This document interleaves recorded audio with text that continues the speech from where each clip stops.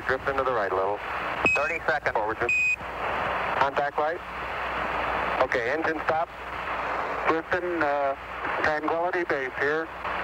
The Eagle has landed. Boy. Okay, we're going to be busy for a minute. That is, of course, CBS News anchor Walter Cronkite reacting to the moment that Neil Armstrong and Buzz Aldrin landed on the moon back in 1969. A lot of people were saying that, whoo, boy. And the iconic Eagle lander. Now, for the first time since the Apollo program, NASA is shopping for a new lander to go back to the moon. The space agency is expected to choose this month from among three designs for its Artemis program.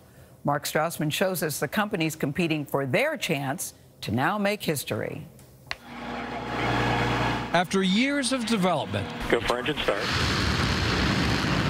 and countless tests of its rocket and crew capsule, NASA almost has all the hardware it needs to send astronauts back to the moon. The human landing system is the missing link. It's the last step to complete the puzzle for our return to the moon. Once you have this, It's all systems go. Lisa Watson Morgan leads NASA's first lunar lander program since Apollo. When I see this, it, it just it gives me goosebumps. The Apollo lunar module, built by Grumman, was actually two spacecraft in one.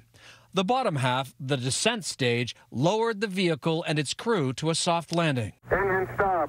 Okay, Houston, the Challenger has landed. And when it was time to go home, Ignition.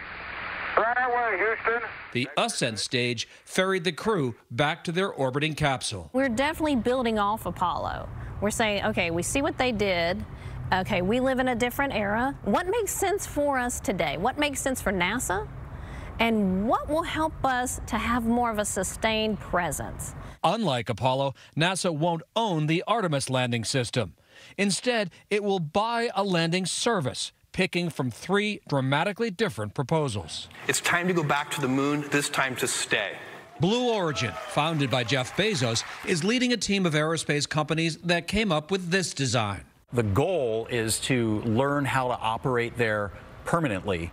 Blue Origin's Brent Sherwood told us that's why its propulsion system is based on water, because ice at the moon's south pole could someday be converted into rocket fuel. Both hydrogen and oxygen are available on the moon in the form of ice in the polar regions. And our vision is based on developing those lunar resources in the future to make these systems reusable instead of bringing everything from Earth. Ignition.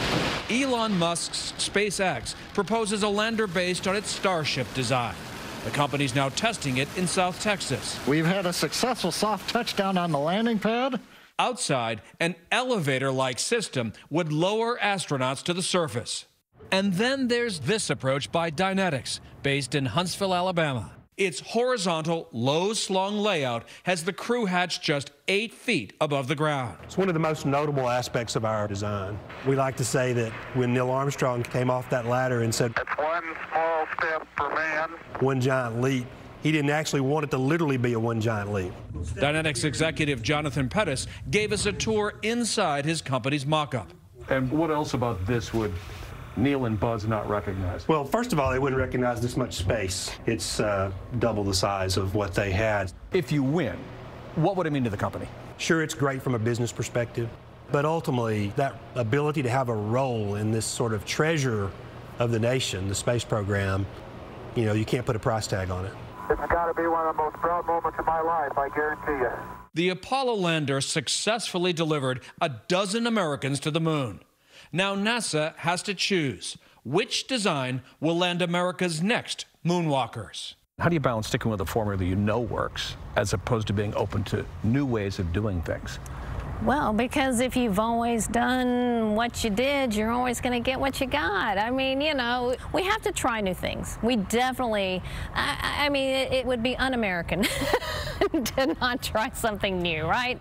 For CBS This Morning, Mark Strassmann, Huntsville, Alabama. Boy, all three designs are so interesting. Very different. I'm excited. They got some great options. Yeah, they sure Like do. what you said, if you always do what you did, Yeah. just get the same. I wish they could try them all. I like. I, I hope they do. I like the one with double the space, bigger than a lot of Yeah, apartments too. in New York. Yeah. too. Very nice choices.